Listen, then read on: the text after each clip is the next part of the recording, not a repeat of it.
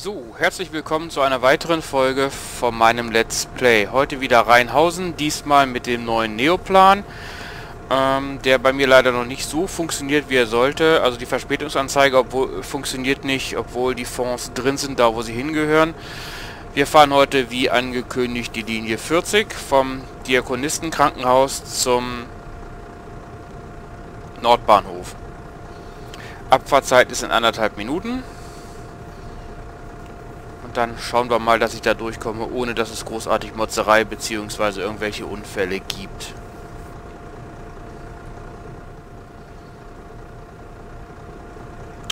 Automatische Ansagen sollten eigentlich funktionieren, aber bisher habe ich es auch nur zum Laufen gekriegt, dass ich sie quasi über die Q-Taste zum Weiterspringen bringe. Einmal ein kurzer Blick von außen. Der Bus ist noch neu. Ich habe jetzt mal das BVG Paint genommen, ähm, weil mit der polnischen Sprache bin ich dann doch nicht so gut drauf, beziehungsweise passt auch irgendwie nicht nach Rheinhausen. Ach, machen wir mal die Luke zu und ab dafür.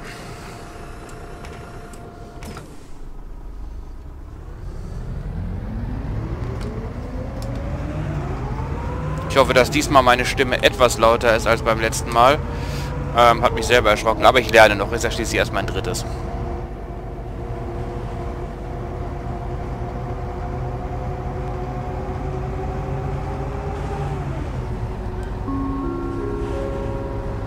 Nächste Haltestelle Rothauser Straße.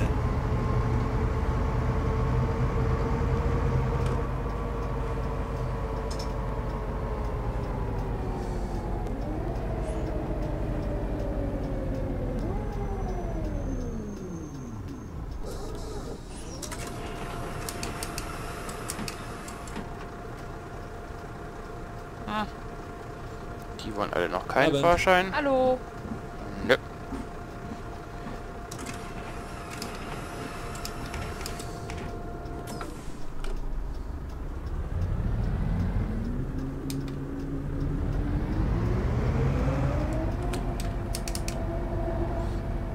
Tja, wie bin ich eigentlich zu OMSI gekommen? Eigentlich mehr durch Zufall.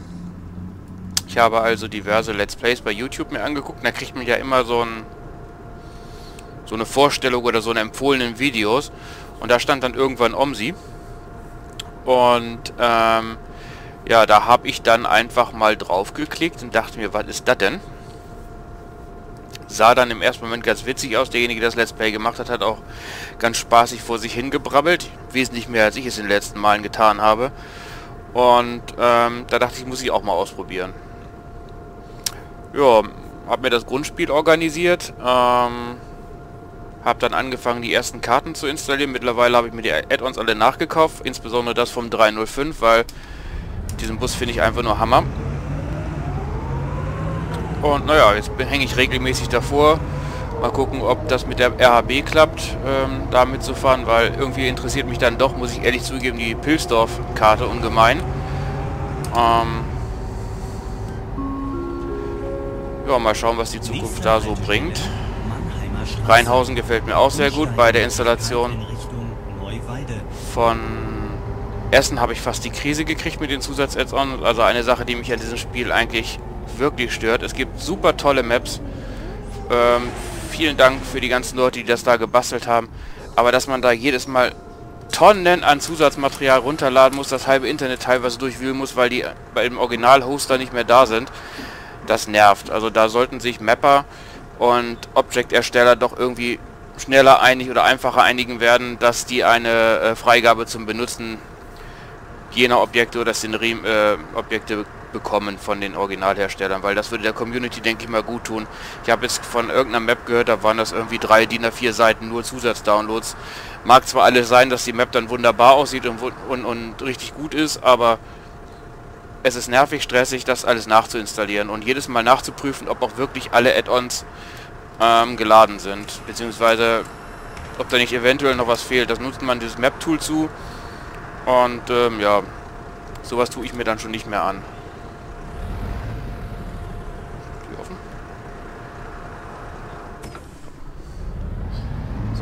Geht's. Also insbesondere gerade wenn ältere Sachen gebraucht werden, sind die oft bei den Hostern nicht mehr da.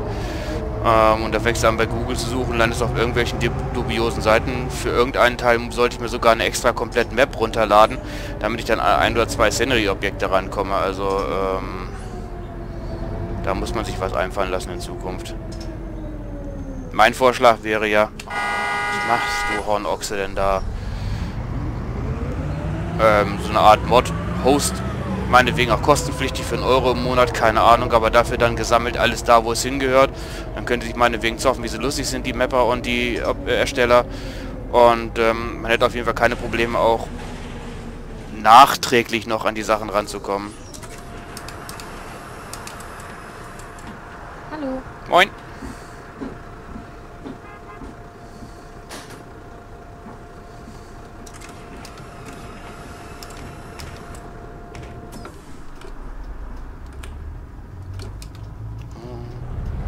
Rein, sehr schön.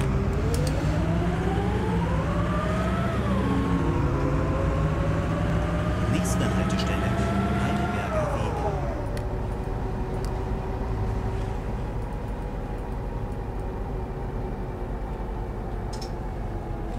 Boah, das ist halt wieder.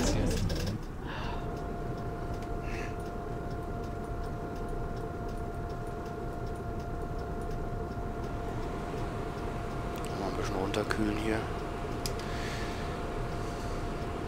Einmal gepennt.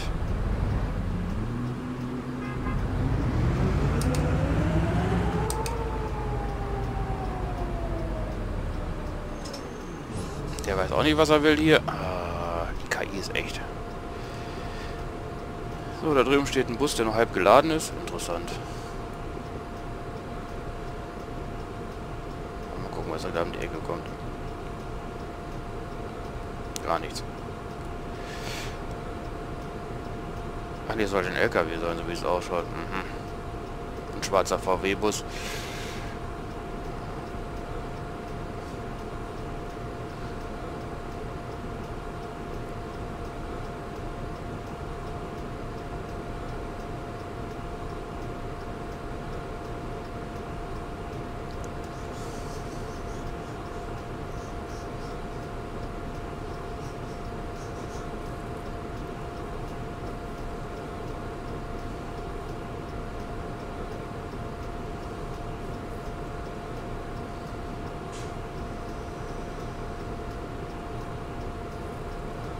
Also diese Grafikphänomene finde ich immer wieder interessant. Ich weiß jetzt nicht, ob das jetzt mit dem Add-on-Bus zusammenhängt oder...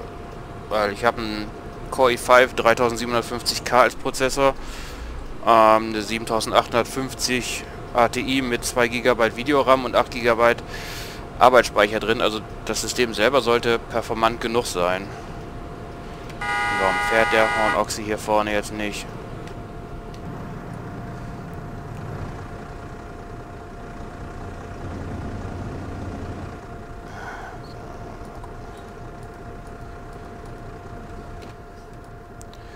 Dann müssen wir halt mal wieder den Laden vor uns frei machen.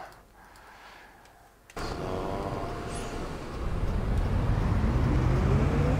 Also wenn man aus ein paar Kacheln rausgeht oder über F4 dann ein paar Kacheln sich von dem entfernt, wo der Bus gerade steht, ist danach die Straße vor einem frei, was manchmal ganz nützlich ist, wenn die KI mal wieder am Abtillen ist.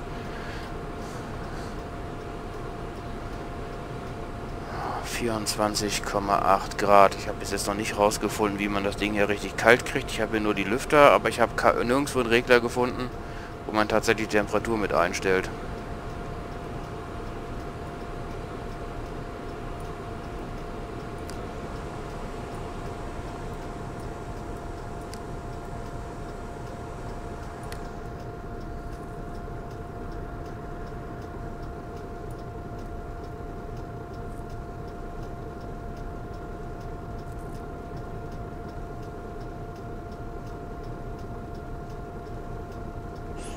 Und weiter geht's.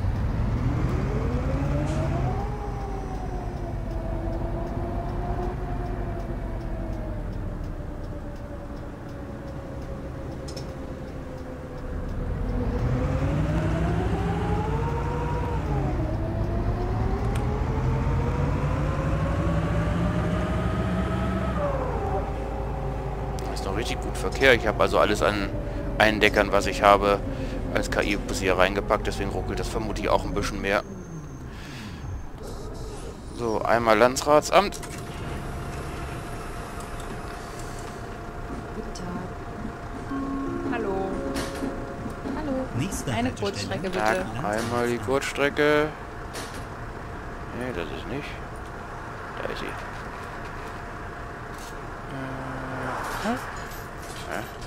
Äh, äh, äh.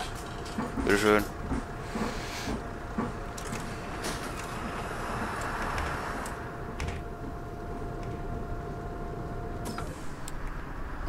weiter geht's.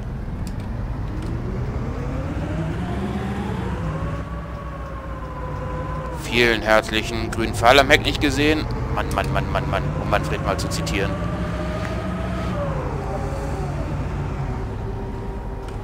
Ist übrigens hier bei uns zu Hause mittlerweile ein Running Gag. Mann, Mann, Mann, Mann, Mann. Bei jeder sich bietenden Gelegenheit.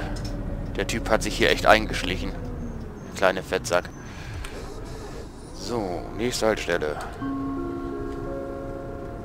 Nächste Haltestelle Domshof Rathaus. Umsteigemöglichkeit zu allen Buslinien sowie zur Stadtbahn.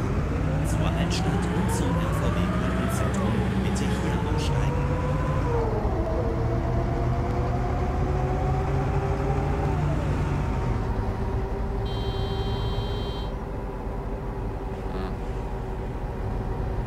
Da kommt gleich wieder ein Bus. Laderuckler.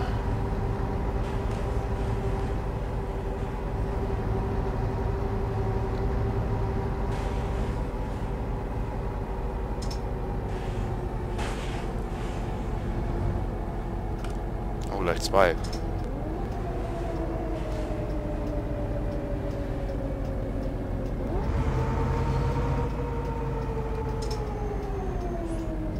Was ich hier noch nicht ganz so raus habe, wie, der, wie breit der Wagen ist, aber im Großen und Ganzen klappt das mittlerweile ganz gut. Ja, da die Tür auch auf. Hallo. Moin. Guten Tag. Tag auch. Eine Fahrkarte bitte. Bitte normale. Hallo. Zup. 3, 15. Danke. Bitte. Oh. Alle drin? Alle drin. Tür zu, Affe tot. Und links geht's weiter.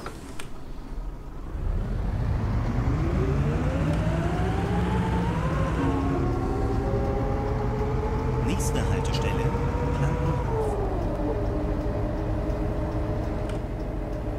Dran, 30 in der Innenstadt. Immer schön 30.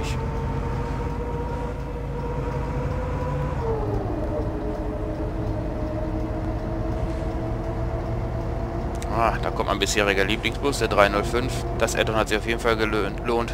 Mit dem habe ich die meisten Kilometer bis jetzt runter.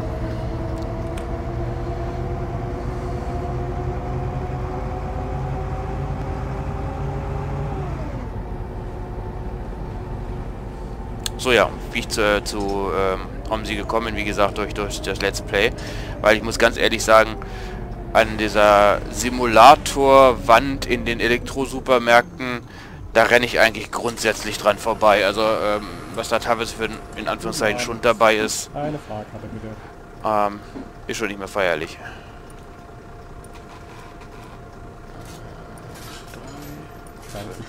Bitte. Hallo. Hallo. Hallo. Hallo. Ich hätte gern eine Tageskarte. Eine Tageskarte. Bitteschön. Und ein zurück. Danke. Und sonst noch jemand? Ja.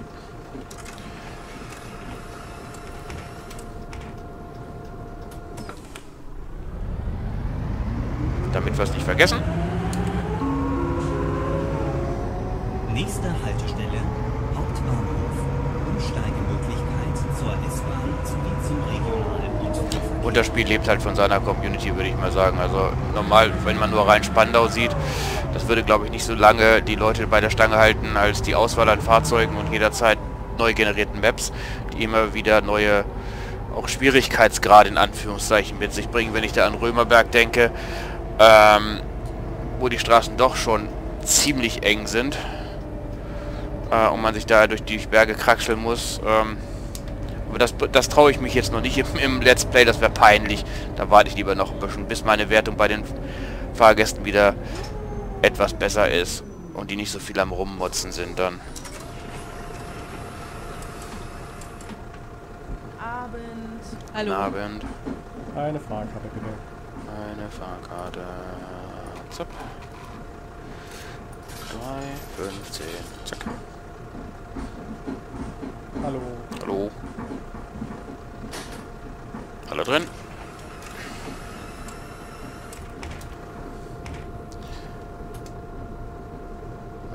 Achso.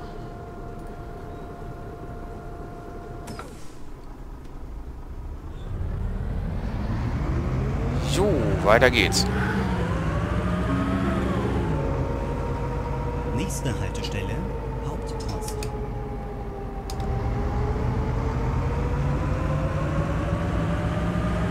Wobei ich der Meinung bin, dieser Bus lässt sich auch hervorragend fahren. Also, falls der Erbauer zufälligerweise mein Video gucken sollte, Gratulation. Der rückt in der Skala nach oben. Wenn ich denn irgendwann diese Verspätungsanzeige da zum Laufen kriege.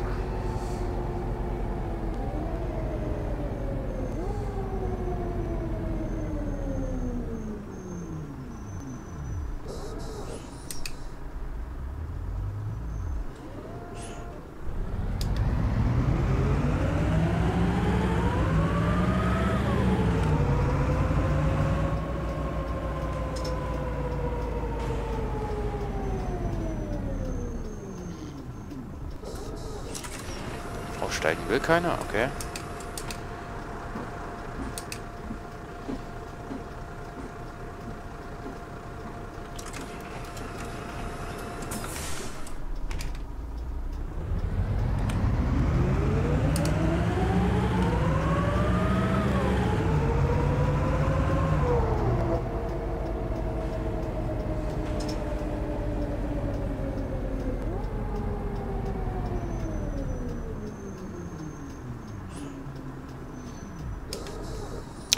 Was ich mich halt auch immer wieder frage, ist, wenn ich so in den Foren am Rumstöbern bin, wie wird ein Bus vor dem, Re vor dem bevor er veröffentlicht wird, geleakt? Also selber packen tun sich die Dateien nicht und hochladen. Also wird es der Erbauer wohl selber eher unwahrscheinlich sein. Bleiben eigentlich ja nur seine Beta-Tester. Und da ist es dann echt schon, ähm, ja, also mir fällt da gerade keine passende Bezeichnung zu ein, weil wie, wie, ich, wie ich solche Leute finde, die das Vertrauen ähm, missbrauchen, das Ding weitergeben, wahrscheinlich vielleicht sogar noch am Freundeskreis es gut meinen und die Freunde das Ding dann hochladen, fremd irgendwo, keine Ahnung. Auf jeden Fall, ähm, das würden sind solche Leute massiv dabei, so eine Community zu versauen. Was dann sicherlich daraus resultiert, dass dann Busse nicht hochgeladen werden, für privat nur entwickelt werden, wie man das ja auch beim Landwirtschaftssimulator gesehen hat, dass einige wunderbare Fahrzeuge auf Anfragen dann immer gleich heißt, nee, die sind privat, die werden nicht veröffentlicht. Weil irgend so ein Hornochse dann das Ding entweder verändert, neu hochlädt unter eigenen Namen, keine Ahnung. Ähm, da kriege ich einen Brechreiz. Nächste Haltestelle, Rheinstraße. Ich hoffe, ich habe mich jetzt nicht verklickt.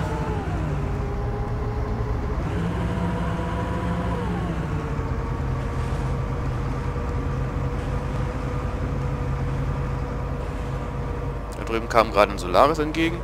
Das ist der von CNB. Wenn ich das jetzt richtig in Erinnerung habe. Ah, Bordstein.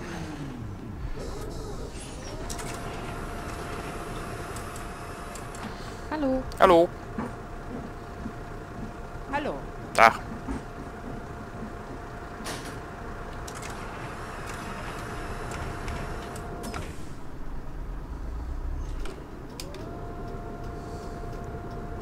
Darf man geradeaus fahren?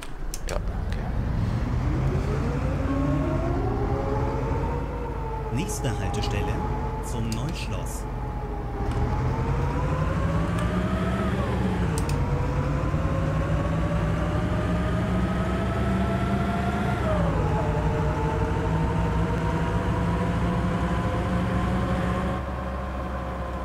Und sie haben noch nicht gemotzt. Toi, toi, toi. Steht wieder irgendeiner am Park da auf dem Busstreifen? Nee.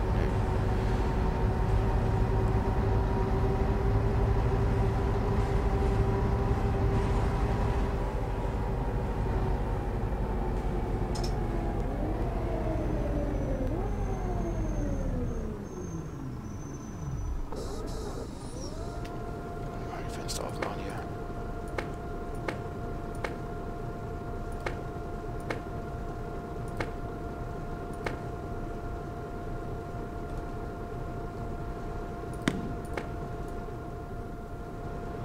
Hier noch was.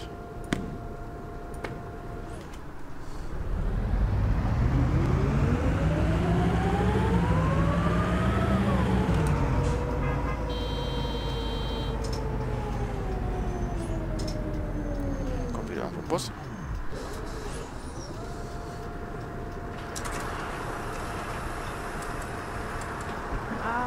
Abend. Na Band.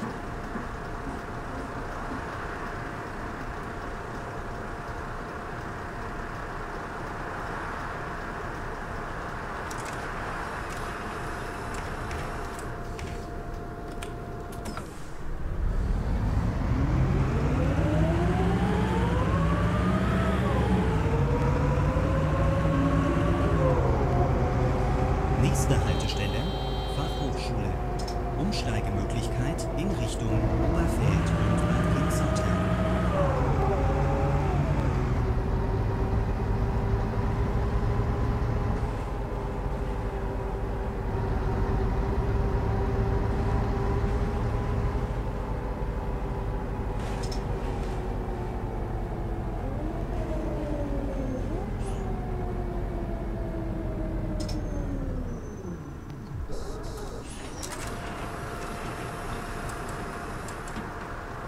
Abend. Guten Abend.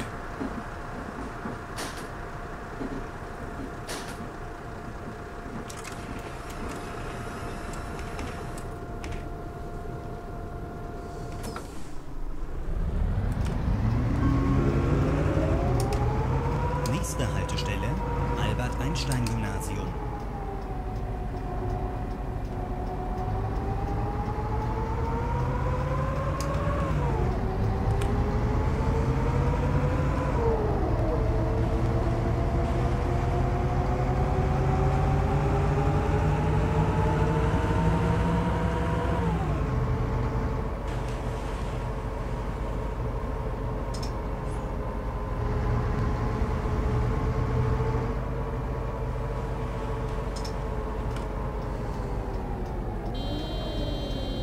Fällt ihm aber früher ein. So. Und... Leute mal rauslassen hier. Einmal normal.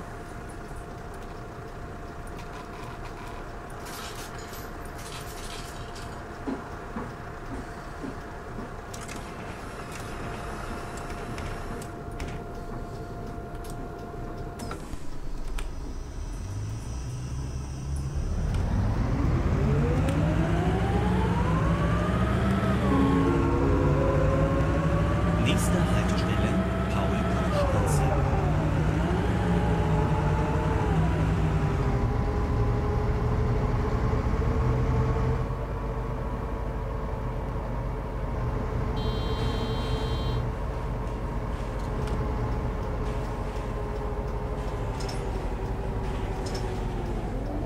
Da wollte die sich doch gerade vor den Busch schmeißen. Habt ihr das gesehen?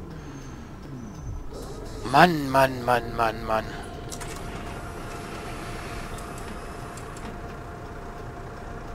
Wow. Ah, da noch ein Haus. Was das? Ja.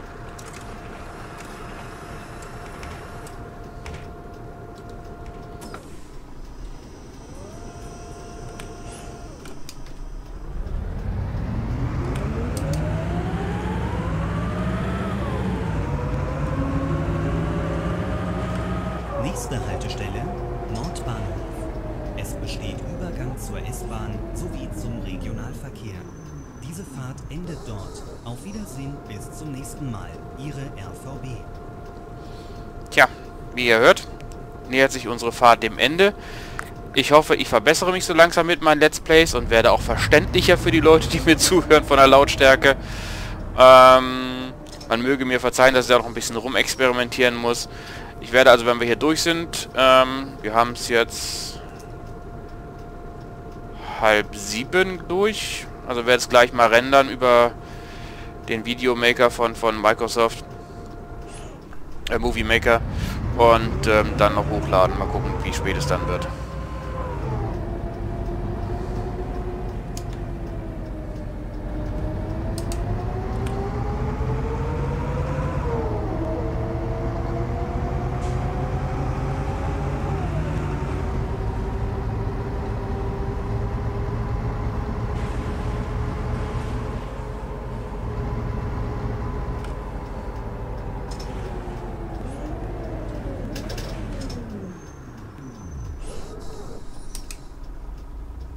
So, da rechts sieht man schon unseren Zielort. Drei Außenspiegel, oben sieht man, welche Tour ich gerade unterwegs bin. Kann man nochmal vergleichen, ob auch das Richtige ausgeschildert ist. Normaler Ausstiegsspiegel oder rechter Außenspiegel und unten sieht man halt ungefähr, wie nah man am Bordstein steht. Und ob man den Blinker eingeschaltet hat.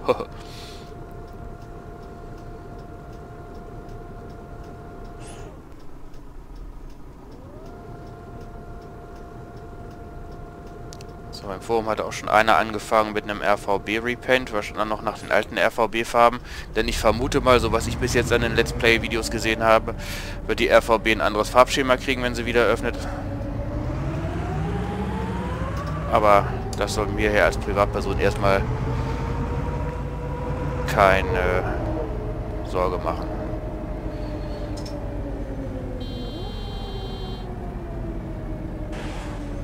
So. Parkbremse rein. Türen auf. Wir sind da. Mit vier Minuten Verspätung. Nächstes Mal ein bisschen aggressiver fahren. Ich wünsche euch noch einen schönen Abend und äh, wir sehen uns dann beim nächsten Mal. Dann liegt an die Linie 30 hier in Rheinhausen. Bis dann.